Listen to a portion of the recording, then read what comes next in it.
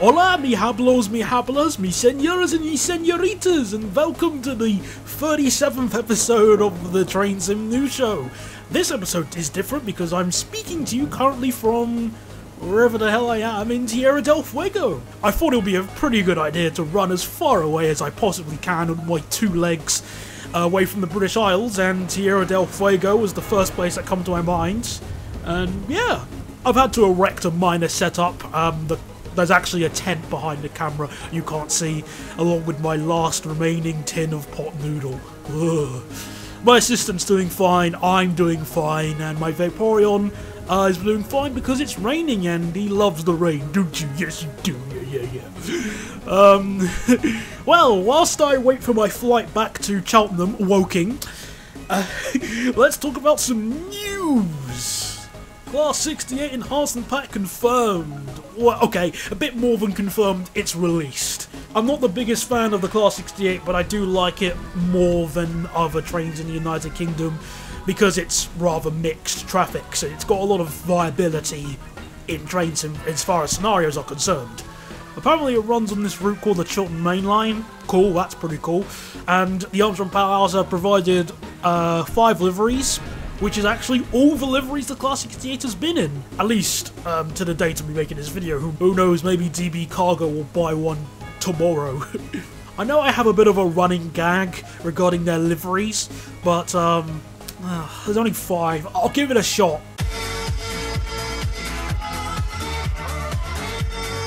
Nah, it doesn't look that good. Okay, important thing aside then, what do I think of the back? Well, the sounds, once again, they're really, really good. I like them. There's a lot more attention to detail than before, the motors sound closer to the real thing. There's obviously been an overhaul with the throttle, the physics and the braking. Yeah, I'm quite alright with it, honestly. There is one feature they've included that I want to focus on, and that's being able to adjust the amount of exhaust and the sound of the traction motors. They actually included this with the 31 enhancement pack, which didn't mention it because I don't care about the 31, sorry. But it's nice that they've included it here as well. I like it, so now I can have the motors as loud as I want and the exhaust to acceptable standards. You know, not Volkswagen standards. There is one stupid thing about this pack, however, worth mentioning. You can turn on the electric train supply. What's stupid about that? You could do that originally on the default. And that's right, but the Armstrong Powers have mapped it to Control S. You know what else Control S does? Take screenshots. Oh wow, fantastic. Conveniently enough, this was also the issue with the 31 enhancement pack, but I think it's even worse here because, well, Again, why would you make the same mistake like that twice? Of all the button combinations you can make to turn on the ECS, why not Control Shift S or Control Shift E or something like that? Or maybe no bind at all because you could just press the button in the cab right here. Honestly, and I know you can press F12 to take screenshots, but one, that's not good future-proofing, because that's the Steam overlay as far as I'm concerned. There is a good chance in the future the game will, will you know, may not have Steam. How are you going to take pictures then? The second thing is, it's a muscle memory thing. Whenever I'm playing the game and I want to get a good shot, I always instinctively press Control S, and it's awkward telling my, my reflexes to use another method, especially in this case when it's due to incompetence. Because let's be honest here, it's not like the Armstrong Powerhouse are new at this sort of stuff. They've been playing the game longer than I have. Surely they know Control S is the screenshot bind. I know, let's not override that bind. But you know, that's pretty much it. 11.99. Get it if you want, don't get it if you don't want it. Yeah, that's pretty much it. Also, fictional reskins rejoice! Fluttershy.wmv. Alongside the 68 enhancement pack, uh, how can we not forget? Class 319 pack volume 2 confirmed. Well, not much confirmed, more so everybody knew it was coming. And isn't the Armstrong Powwow so lovely to put deliveries that the majority of the people were looking forward to in the second volume instead of the first volume? Class Act. Mind you, with more liveries, hopefully my running gag will work a lot better. Let's give it a shot.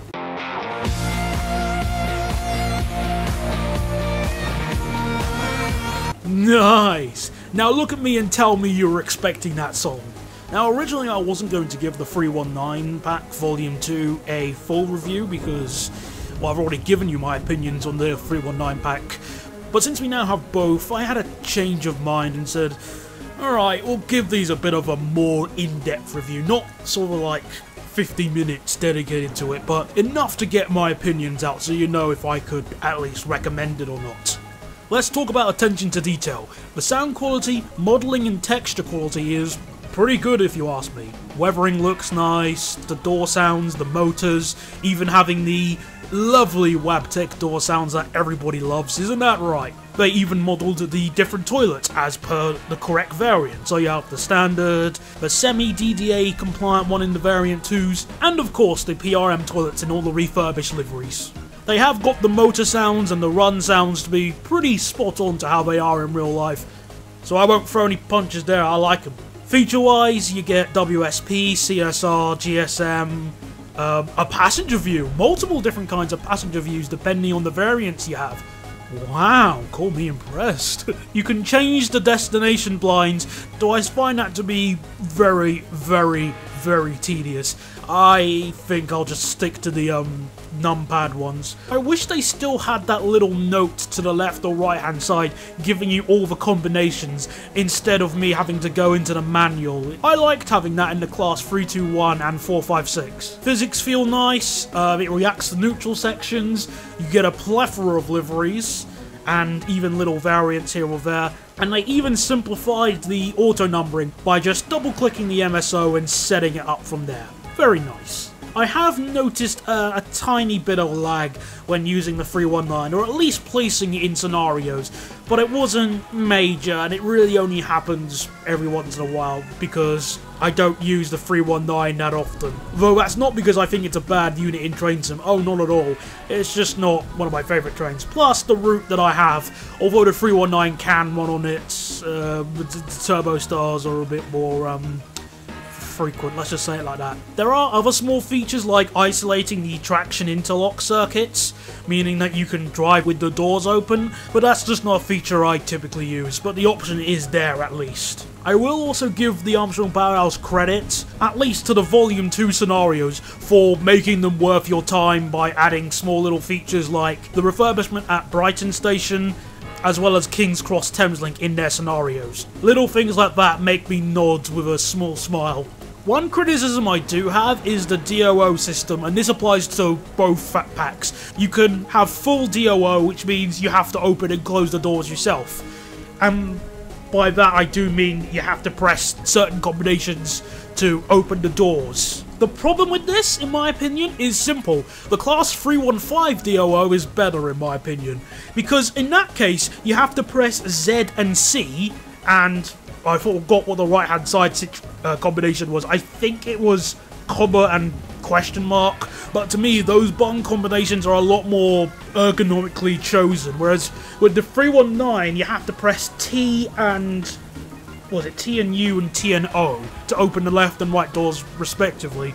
And I just find that to be a, a bit awkward, honestly. Just just have the 315 system. Plus it just feels a bit more involved considering how you have to press the buttons in real life. And the pricing is £32 for both packs, thanks to the discount they provide you. It's the same price as the Railjet, but it's better than the Railjet. Uh, honestly, I could recommend it, but the pricing is just... Mm, noticeable. Let's just say noticeable. I definitely can't say I'm in love with the pricing or the 319, but it's better than most of the crap I have to deal with, so yeah. And it's more than drivable. I think it's one of the best Armstrong Powerhouse things they've released, but I'm not jumping up and down because, well, I don't have that much of a nostalgic connection with the 319. I used to ride on them a few times back when they were in Thameslink, but yeah, that was about it, I'm afraid. In other news, our good old friends from Vulcan Productions are modifying a Class 47 to create this, a Class 57 Variant 3 and Variant 6, using the power of child object technology. It looks pretty nice, honestly, if you ask me. They've demonstrated that they can show the headlights, and they've put it in the Porterbrook livery so far, at least to the date of me recording this. I think I'll be the first person to say, um, rip Alby's reskin of the Class 57 2016 to 2019 it lived well. No one was going to touch Return Football anymore. Oh. Sorry about that. Plus, it also means that the 57 uh, Sound Pack Pro sounds will actually be accurate, uh, which is nice. Again, I like how it looks so far. Does anybody want to know what the best bit about having a 57 Variant 3 and Variant 6 is? The Pendolino Drags! Well, until the game gives up making a scenario, but, you know, the option will be there. That'll be nice. It's an incentive for them to um, add some additional liveries if they want to. Oh, uh, Vulcan Productions are also making Leeds to Manchester. Nice. Anyway, Blue Rail Studios are dead-ish.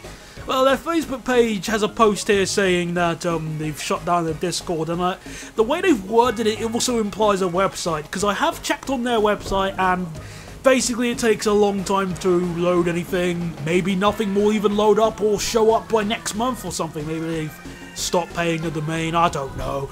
But it seems that they've gone. They've up sticks and left. Eh, what a shame. Okay, let's move on. And with good timing too, since the rain has just cleared up. So what are you going to talk about today then? Well, it seems like the Train Sim News Show has competition! A challenger approaches. He goes by the name of Oh crap, I haven't got the picture with me, hold on. Okay, when I was starting this video, he went by the name of Ken Ripstart, but I believe he's changed it again. But he has a video there called Armstrong Powerhouse Class 68 and other stuff. And whilst that is the title of his video, what does he call his video when he starts it up? Train Simulator News. Wow. The really funny thing about this, um, this show is inspired by Stuart K. Riley and his YouTube Poop News show and almost the exact same thing happened to him whilst he was making his new show, albeit in his case, the people quote unquote imitating him were um, doing it well, they were rubbish. I don't even think they were even trying to imitate him. And in this case here, it isn't a case of imitation either. To address the little thing at the start of his video, which we're going to look at today, no shock horror whatsoever. Unless it was just done for a joke, I really would recommend calling yourself not the Train Sim News Show, call yourself something else different. And the reason why I'm suggesting that is the same reason I'd suggest you not calling yourself Vsauce, or iDubbbz, or Content Cop, or H3H3 Productions. Of course, the names have kind of already been taken. And in the case of the Train Sim News Show, this has been around since 2015. So, um, yeah. But if it's just for a joke, then fair enough, you know, we just laugh it off. If you haven't guessed already, we're going to be checking out his video to see what's what, and we're not going to be mean because I actually like this video. he gave me a good laugh the first time. But before we can watch his video, um, some random sod in the embassy recommended that I obviously play the obligatory transition.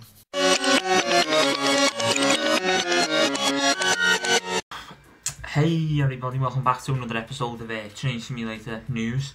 Now, aside from what I just said earlier, I just want to get this out of the way. I love this guy's accent. Seriously, I do. He's a northerner, Liverpudlian. I think he is at least. Do correct me if I'm wrong. And, um, I love a northern accent. For those of you who don't know, I'm from the south of England. Like, West London, sort of. You know Hayes?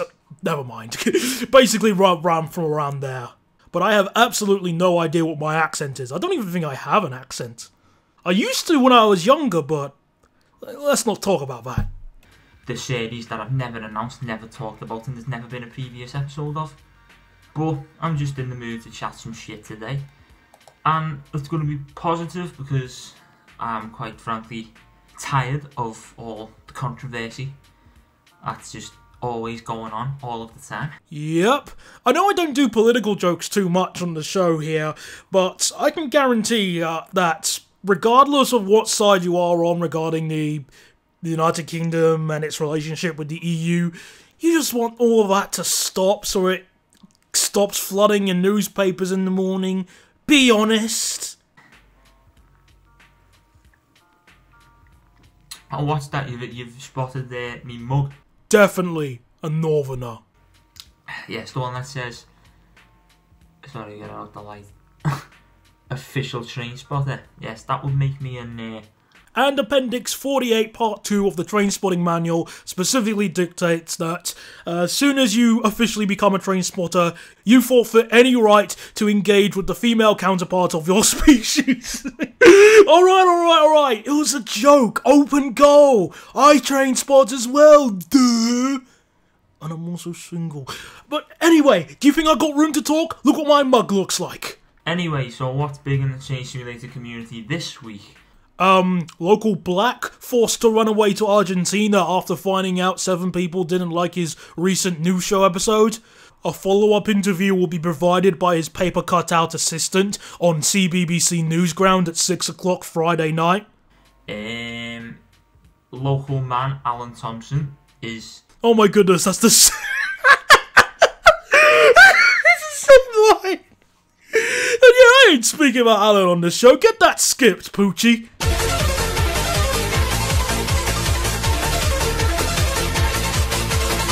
In other news, Richard Powerhouse has recently released the Class 68 Enhancement Pack. Richard Powerhouse, eh? Well, that's a new nickname.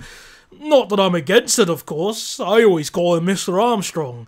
Then again, I could probably get away with calling him Armchair Power Drill and you'd still know who I'm talking about. I've yet to buy it because I don't have a job, I'm a student. Ah, that takes me back in the day when I was a student. In the early days, I had to commute on the Class 456, the unrefurbished ones, on the Ascot to Guildford line. That's about as appropriate as using HSTs on the Sutton Loop or Class 150s on the Thameslink Core. And I spend my money on stupid shit like this. Hey, mon Dieu! Great to see different people like different things, eh? Maybe it's for a cosplay of a character I don't know. Or it's for drama.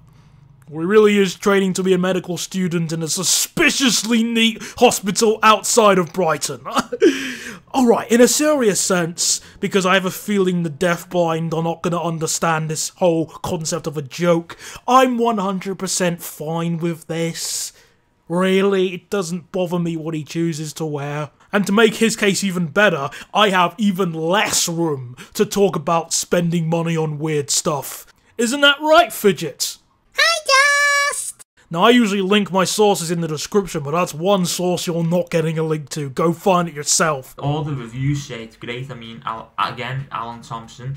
Fucking name pops up a lot. The, the, IKR. it sounds great. It looks great. It moves great. It appears to be a great pack.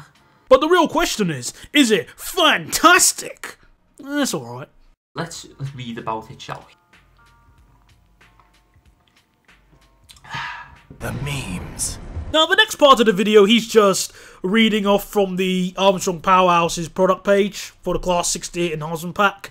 I ain't gonna show it all because, well, there's not really much to say, obviously. He does ask what a blended brake is, and I'm more than willing to answer that question for you. It's essentially a combination of a rheostatic brake and um, an air brake. There's a Wikipedia article link in the description um, because I'm not going to spend the rest of this video explaining it for you.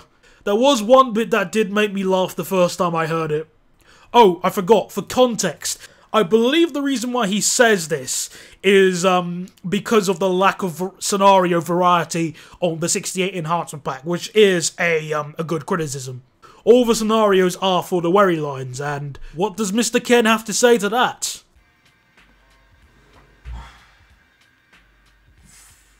Fucking Norwich. Sorry, I can't get enough of this guy's accent. It's the one reason I want to learn how to do a northern accent. It will make a fine addition to my accent collection, I tell you. Norwich to Great Yarmouth and Lowestoft. And much more. Hold on a second, I've just noticed. That's the intro theme for GTA 4. Man, this guy has a good taste in music, I tell you. I'm just gonna jump ahead a bit because he's now just talking about some reskins that are irrelevant for discussion. Nothing bad, just irrelevant. Come to think of it, I never get asked to be part of any projects. Oh my But goodness, please don't put that on again. I think I've seen quite enough. You can't finish. As always, lazy ass over there. I'm still working on my Merseyrail route, and I'm now in the seventh build. Ah, so you're the guy who's behind that Merseyrail route I saw. I don't think I archived any pictures of it. Merseyrail ain't my cup of tea.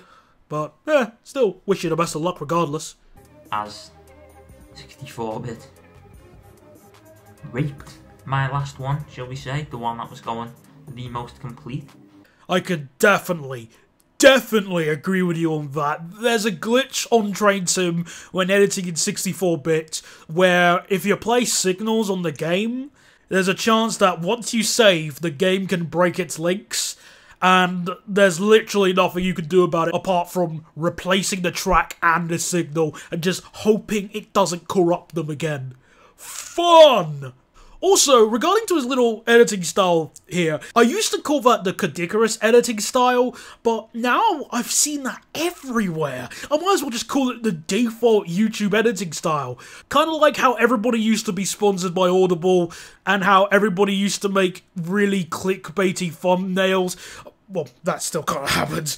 But yeah, maybe in the future there'll be a video editor that you can just place your raw footage in and it'll instantly make every YouTube video ever. Only time will tell. Bit of another jump again because he's now just talking about a reskin that he's now um finished because I'm slow at making these videos. Sorry. you know what? I might as well just one up it.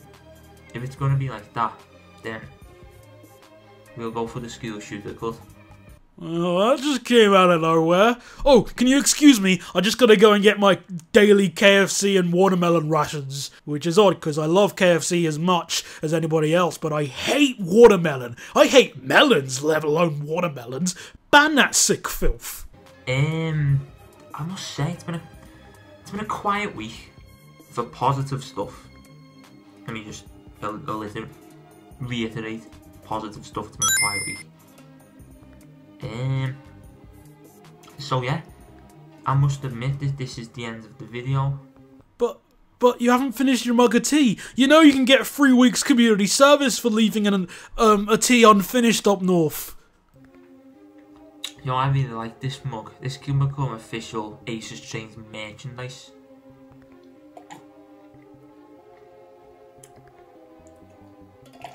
Phew. Well, since you clearly obviously like your tea, how about you tell me what kind of tea bags you like and how many sugars you like in your tea? For me, it's PG tips and two. Yeah, so anyway, I hope you, you've enjoyed this brief what's going on in the Train Sim World news video. Well, I for one can certainly say that I enjoyed this video, accent aside. Now, I'm going to make it as clear as possible to you do not just go over to him and claim that he's copying me, or he's a copycat, or he just wants to ride on my coattails or something. No, he's not. No, by talking about Train Simulator, he is not copying me. If anything, I'd like if more people were to talk about Train Simulator. Of course, be original, don't just mimic everybody else. Because if there's a good chance you don't like me, maybe you like someone else. Or maybe if you don't like him, maybe you'll like me. I don't know, it's... That's the thing about YouTube. I, for one, certainly wouldn't like to have a monopoly, though I would appreciate not having any copycats, as would anybody else. Even this video wasn't that bad, just, you know, bit of hiccups in editing here or there, honestly, but you know, it wasn't bad. The problem which I have is the imminent potential reception, because as I've seen from comments, it feels like, not to everybody of course, but to a select few, it feels as if the messages I'm trying to broadcast are falling under deaf ears and blind eyes. I mean, thinking that I'm just one of those people who dislikes popular things because it makes me more interesting Alright, you think that, but reality disagrees with you, of course. Calling me close-minded despite the fact that I'm the opposite of close-mindedness in every single way, shape or form. And of course my favourite, calling me mentally impaired because I don't like one person. Oh, isn't that cute? Well, I have a remedy for the people who are going to be making comments like these, okay? And this is not like a joke one where I'm just going to say, you know, complaint department, pick this number. No, it's a genuinely helpful bit of advice, okay? You go to Google and you type in YouTube Video Blocker, and then you go to the Chrome store and you go to this little extension here and add it. Once you install that extension, put my channel name in it, and voila, you'll never have to see content from me again. Now, don't misconstrue what I'm stating here. I am not saying, if you don't like my stuff, don't watch it. No, no. I'm above that. No, I'm saying if you're gonna watch my stuff and make utterly stupid comments that show you can't even watch the video, or if you are watching the video, you just accidentally hit the mute button, then get lost. Maybe it's a side effect of this medication, I don't know. Frankly, I have no time for idiots. I'm sorry, but I don't. Memes, funny comments, copy pastas, and messing about is one thing, but stupidity like those examples I showed you? No, just get lost. I'm sorry. That's the nicest I can be regarding that. Well, that wraps up this episode today. I think I might do some trade spotting once I go back to the UK. Maybe Acton Bridge. Hmm, let's just look at the frequency. Oh, maybe not Acton Bridge. My apologies. Well, thank you very much for watching, everybody, and I'll speak to you guys next time. Goodbye.